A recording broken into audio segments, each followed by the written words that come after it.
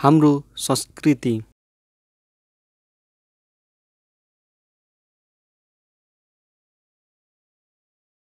नेपाल बहुजाति बहुभाषिक र बहुसंस्कृतिले भरिएको एउटा सुन्दर राष्ट्र हो।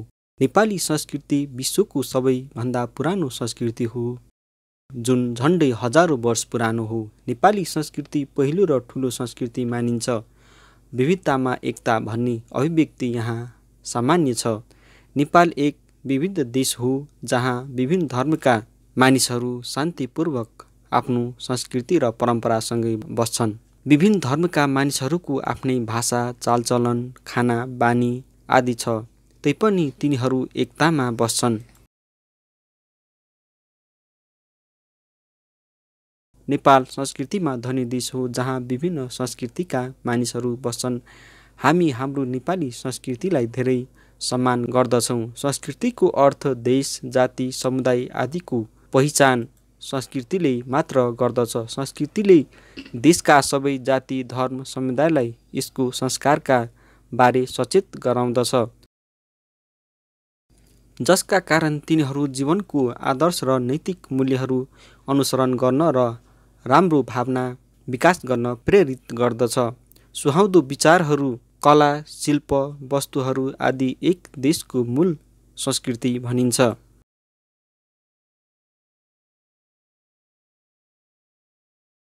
सम प्लस कृति बराबर संस्कृति तथा सम प्लस कार बराबर संस्कार शब्द हरेक मनसँग गाँसिएका छन्। संस्कार र संस्कृति नभएको देश या त अपाङ हुन्छ या त निर्जीव हुन्छ।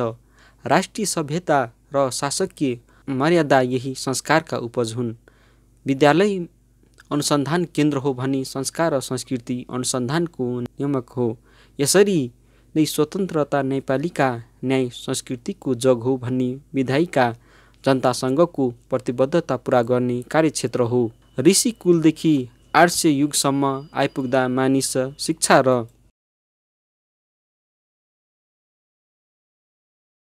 संस्कारले गतिशील पाएको पाइन्छ।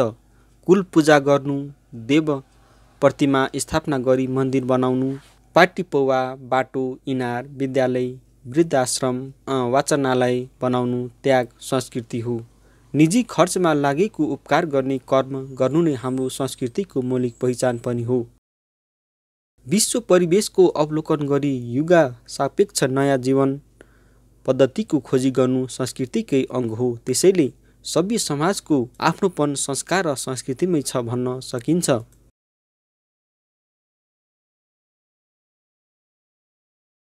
सबै बच्चाहरूले यहाँ राम्रो व्यवहार गर्छन् किनभने उनीहरूले यस संस्कृति र परम्परा आफ्ना बुबा आमा र हजुरबुवा हजुरआमाबाट पाइसकेका छन्।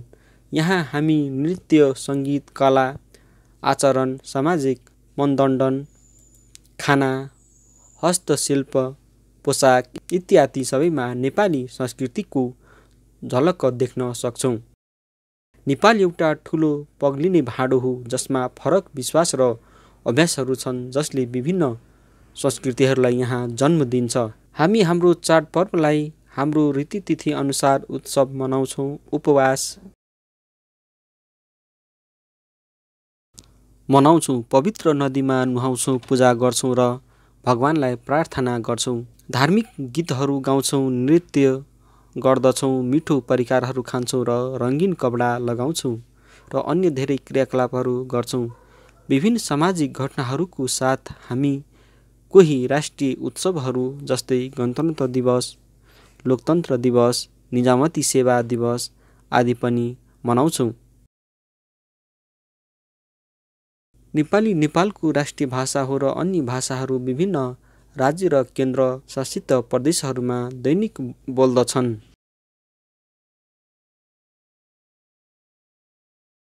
नेपाल एक ठुलो जनसङ्ख्याको सानो देश हो जहाँ विभिन्न धर्मका मानिसहरू उनीहरूको अनौठो संस्कृतिसँगै बस्छन्। देशका केही मुख्य धर्महरू हिन्दू मुस्लिम इसाई बौद्ध हुन्। नेपाल एउटा यस्तो देश हो जहाँ देशका विभिन्न भागहरूमा विभिन्न भाषाहरू बोल्दछन्। सामान्यत यहाँका मानिसहरू पोसाक सामाजिक मान्यता चलन र खाने बस्नेमा फरक छन्।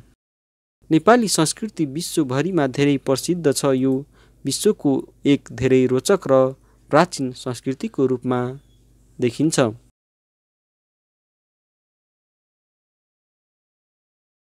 विभिन्न धर्म परम्परा खाना कपडा इत्यादि सम्बन्धी यहाँ बस्ने मानिसहरू विभिन्न संस्कृति र परम्पराका मानिसहरू यहाँ सामाजिक हिसाबले स्वतन्त्र छन्। यही कारणले धर्मको विविधतामा एकताको बलियो सम्बन्ध यहाँ छ।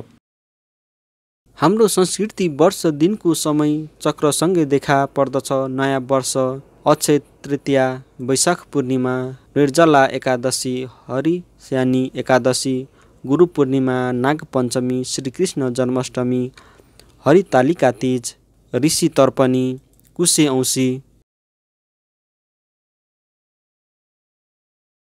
श्राद्ध घटस्थापना विजया दसैँ शरदा पूर्णिमा तिहार बाला चतुर्दशी लोसार माघे सङ्क्रान्ति माघे औँसी वसन्त पञ्चमी शिवरात्रि रामनवमी आदि हाम्रा वार्षिक पर्व हुन्। यिनका अतिरिक्त सुरह संस्कार गरुड पुराण शिव पुराण गणेश पुराण श्री भागवत श्रीमद् भागवत पुराण लगाई मन शान्ति र गृह शान्तिका संस्कारहरू गरिन्छ मेला पर्व र कृषि कर्म गर्दा गाइने गीत वा घाँस दाउरा लिन वन जाँदा गाइने गीतले लोक संस्कारलाई चिनाउँछ। विदेशबाट झोलाभरि पैसा लिएर लाहुरे घर आउँदा होस् कि मानव पदवी आई हर्ष बढाइ गर्दा होस् खुसियालीमा आफन्तलाई जम्मा पारे खाने पिउने र नाचगान गर्ने कुराले हाम्रो संस्कृतिको आफ्नै रूप र महत्त्व रहेको देखिन्छ। विभिन्न परिवार जाति उपजाति र धार्मिक समुदायमा जन्मिएका मानिसहरू समूहमा शान्तिपूर्णसँगै बस्छन्। यहाँको सामाजिक सम्बन्ध लामो समयसम्म रहन्छन्। तिनीहरूसँग सम्बन्धितको राम्रो भावना छ र एक अर्कामा आदर सम्मान गर्दछन्।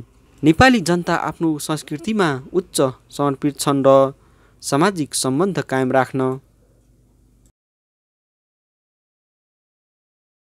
राम्रो संस्कृति जान्दछन्। नेपाल गौतम बुद्धको भूमि हो। यहाँ उनले मानव अहिंसाको संस्कृति जगाए। उनले हामीलाई सधैँ भने कि यदि तपाईँ वास्तवमै परिवर्तन ल्याउन चाहनुहुन्छ अरूसँग झगडा नगर्नुको साटो नम्रतापूर्वक तिनीहरूसँग कुरा गर्नुहोस्। उनले भने कि यस पृथ्वीका सबै मानिस प्रेम सम्मान र हेरचाहको लागि भोका छन् यदि तपाईँले ती सबै चिज दिनुभयो तिनीहरू पक्कै तपाईँको पछि लाग्नेछन्। नेपाल एक आध्यात्मिक देश हो जहाँ मानिसहरूले आध्यात्मिकतामा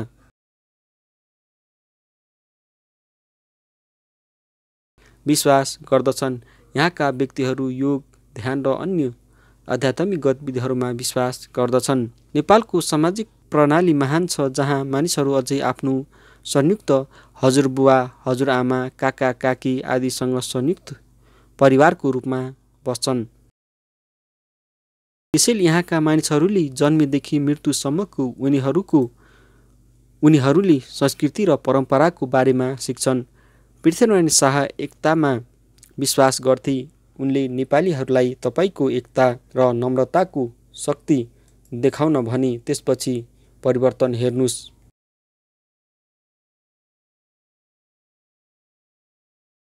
नेपाल पुरुष र महिला जाति र धर्म आदिको देश होइन तर यो एकताको देश हो जहाँ सबै जात र सम्प्रदायका मानिसहरू एकसाथ बस्छन्। नेपाली संस्कृतिमा पाहुनालाई भगवानको रूपमा लिन्छन्। हाम्रो देशमा आएका पाहुनाहरूलाई एक विशेष तरिकाले स्वागत र सम्मान गरिन्छ। अर्कोतर्फ यदि कुनै शत्रु पनि पाहुनाको रूपमा आउँछ तब त्यो नेपालीले उसलाई स्वागत गर्नु आफ्नो कर्तव्य ठान्छ। मानिसमा जे पनि गुणहरू निहित हुन्छन्।